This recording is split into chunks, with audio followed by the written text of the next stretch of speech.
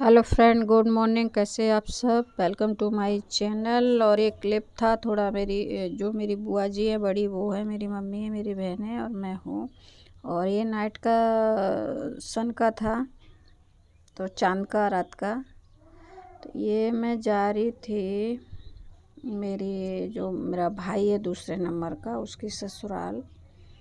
तो ये सिरसागंज का जो यमुना एक्सप्रेस कौन सा है? उसके नीचे ही ऐसा एक्सीडेंट हुआ है कि हाँ जो डीसीएम बोलते हैं, वो और ट्रक, दोनों में इतना ख़तरनाक एक्सीडेंट हुआ है कि जो ट्रैक्टर वाले लोग थे, वो तो शायद बहुत ज़्यादा सीरियस है तो उनको तो पुलिस बहुत जल्द उनको एंबुलेंस में ले गई है।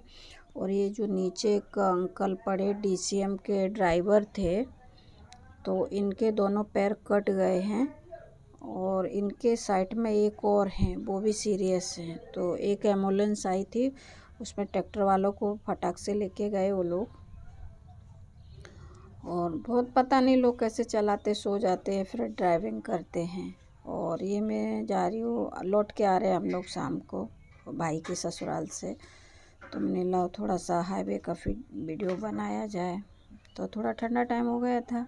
गाड़ी की खिड़कियाँ खुली थी मेरी दूसरे नंबर वाली भाभी है, मेरी खुद की अपनी भाभी है ये। मेरे से तो खैर मेरे चारों भाई छोटे हैं तो ये दूसरे नंबर की है तो अच्छे से वीडियो बना नहीं है। अब ये लोग फिर से घर पे आएँगे, तब वीडियो इनका सबका बना के फिर डालेंगे।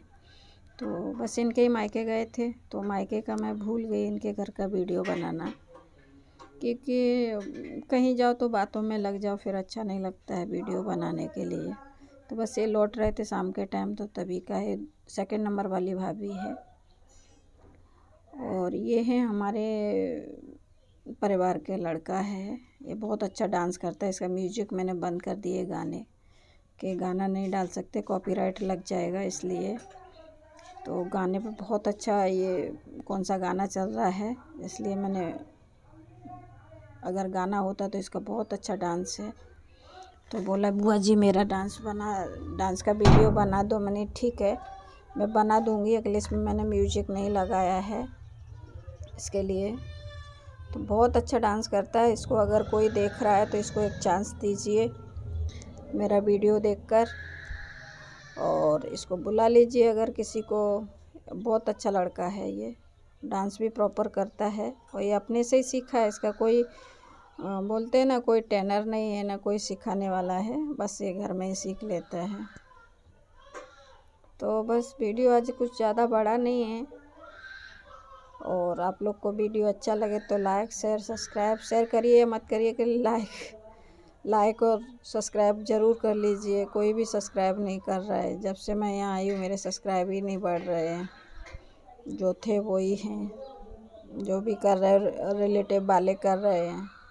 तो प्लीज़ सब्सक्राइब कर लीजिए और सब्सक्राइब करके कमेंट करिए जो मैं आपको बाद में रिटर्न कर पाऊँ। क्योंकि नेट का प्रॉब्लम है एक्चुअली एक तो और उसके बाद क्या होता है, सब्सक्राइबर एक दो आते हैं, वो थोड़ी देर बाद वो अन कर देते अन कर देते कि पता नहीं अन हो जाता है, अभी क्या प्रॉब्लम है, नहीं समझ में आ रहा है। तो बस अभी हमारे यहाँ तो यही चल रहा है, आलू की खुदाई चल रही है। तो ये मेरे भाई का घर है। जो मेरा सेकंड नंबर भाई है, जिसके यहाँ भी हम गए थे तो उसका भी न्यू घर है। कल हमने जो दूसरे वीडियो में डाला था, वो भी भाई है, वो भी बड़े भाई हैं। तो वो उनका कंप्लीट घर हो चुका है, ये मेरे भाई के घर की छत है। और देखिए, इसके घर के पास जितने भी खेत हैं, सब में आलू खड़े हुए हैं। सब टोटली आलू है। ये सुबह का टाइम है मॉर्निंग का। तो सूरज भी आ रहे हैं, और बस पूरा टोटली आलू, हमारे यहाँ तो आलू ज़्यादा होता है। और ये मैं शाम को टहल रही थी अपने घर में, गाँव में तो मैंने ला उस चाँद दिख रहे थे तो बॉम्बे में तो कहीं चाँद दिखते ही नहीं है। तो थोड़ा सा फ़ोटो उसका खींच लिया था। और ये देखिए गाँव की दावत है। तो ये लोग गाँव की दावत खा रहे हैं। गाँव की दावत का कुछ मज़ा ही अलग होता है, पत्तल में बैठ के खाने में। कुछ अलग ही स्वाद आता है। और ये जो बगला है, ये रोज़ गाय के पास आता है। रोज़ कंटिन्यू गाय के पास आके बैठता है ऐसे इसको अपना पेट भरना होगा, भर लेगा, जैसा भी खाने के उसमें। और बस थोड़ी आवाज़ आ रही होगी, गाड़ी स्टार्ट कर रहा है कोई। क्योंकि यहाँ कहीं भी छत पर बैठ के मैं कर रही हूँ, फिर भी आवाज़ आ रहा है। तो बस लाइक शेयर सब्सक्राइब करते रहिए। मिलते हैं आपको नए वीडियो में। तब तक के लिए